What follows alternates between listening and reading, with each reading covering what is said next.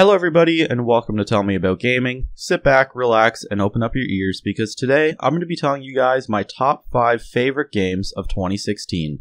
However, to mix things up a little and make this video a bit more unique, I decided to split up the games by genre.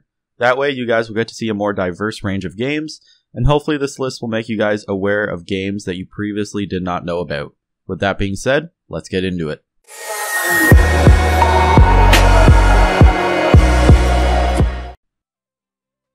So guys, as always, just keep in mind that this list is personal opinion, and I'm sure many of you will disagree with it. If you do, and you think that I left out a game that should have been in here, make sure to let me know in the comments below. I would love to hear your thoughts.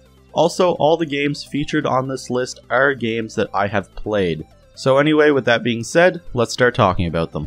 First up, we're going to talk about my favorite FPS game of the year, and that award goes to Titanfall 2.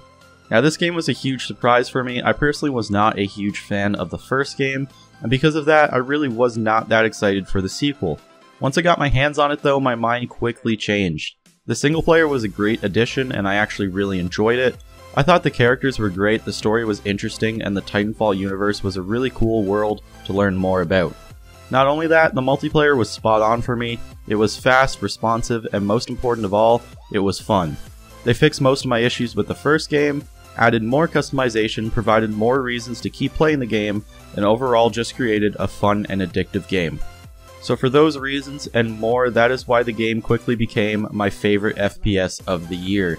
Now if you guys want to hear more of my thoughts about it, I actually did a video a while back discussing the game, so you guys can go ahead and check that out. It's about like an 8 or 9 minute video I think, and you'll get to hear even more of my thoughts in regards of Titanfall 2.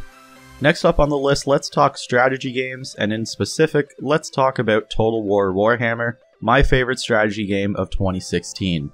Now, I think it's worth saying that I'm not a big fan of strategy games. In fact, it's one of the only genres in gaming that I typically don't mess with, so the fact that I enjoyed Total War Warhammer as much as I did was a great surprise.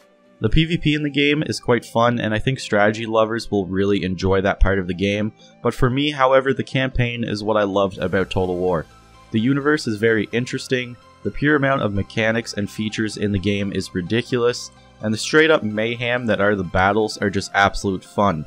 Put cooperative features on top of that so you can play the game with a friend, and you have a super fun game with an insane amount of gameplay possibilities, and some amazing combat that not only you can experience alone but also with a friend, and you have a fantastic game by the title of Total War Warhammer.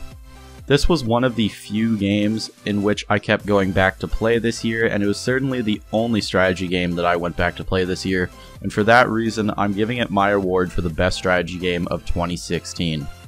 Alright everyone, so now let's talk about RPG games, and more in specific, let's talk about Stardew Valley. So hear me out for a second, I know that Stardew seems like a weird game to consider as an RPG, but personally, I think it is. You play as a character that you have control over when it comes to choices and how you play. There's progression, there are ways to interact with the universe, and plenty more features that you would typically find in an RPG game.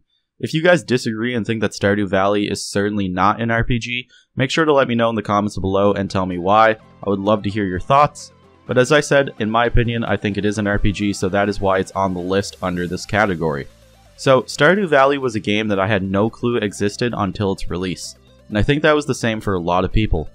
At its core, the game is actually quite simple. You get a farm, you take care of it, and you live your life. But the beautiful thing about Stardew Valley is just how much more there is to the game than just that.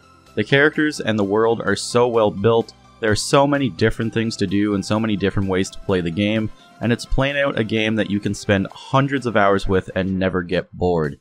If I was to sit here and explain every reason why I love Stardew Valley and why it's my favorite RPG game of the year, we would be here for countless hours. So instead, I'm just going to say this. If you guys have not played Stardew Valley yet, you should really, really give it a try.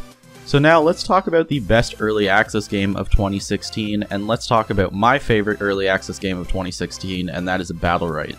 So early access games are quite a weird area of gaming. A lot of people disagree with its existence, and a lot of the time it's for good reason.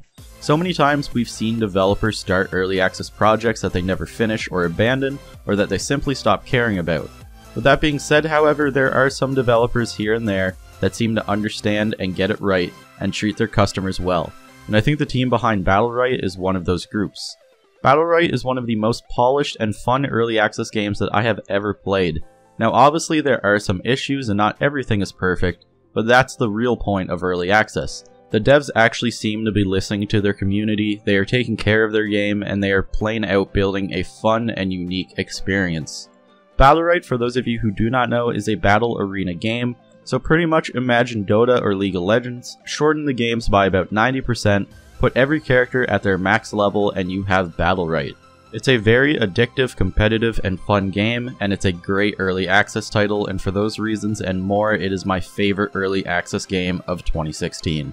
So finally guys, it's time to talk about my favorite overall game of 2016, and the award goes to Overwatch. Now before all of you start yelling at me or slapping me silly, please let me explain real quick. Overwatch is certainly not my favorite game that I've ever played, in fact I don't even think it's in my top 10. However, 2016 for me was kind of a lackluster year. There really was not many games that came out that I actually went back to play or that I actually enjoyed putting countless hours in. Now with that being said, Overwatch was one of the very few. Even though I think there are some balance issues within the game and that it is sometimes just a little bit annoying to play, it's one of the few games this year that I actually kept going back to play with friends, that I actually took competitively, and that actually had some really cool holiday events that you could get into the holiday spirit with. Overall, I certainly don't think that Overwatch is the best game ever. However, it is a game that I extremely enjoyed, and it is one of the few games in 2016 that when thinking about what my favorite overall game was, that came to mind. So for that reason, and for many more reasons, and for reasons that I can't even explain, that is why Overwatch is my favorite overall game of 2016. So guys, that is going to be it for this video. Hopefully you enjoyed it. If you did, make sure to drop a thumbs up. If you didn't, let me know in the comments below. I would love to hear your feedback. If you disagree with any of the games on this list, or if you think that I missed out on some great games, make sure to also let me know in the comments below. I love hearing what types of games you guys like. As always, thank you so much for watching, I really do appreciate it. I apologize if my voice sounded a little bit weird in this video, I'm not feeling the best. But anyway guys, if you do like this type of content, make sure to stick around the channel for more, I do it all the time, and I'll see your beautiful minds in the next video.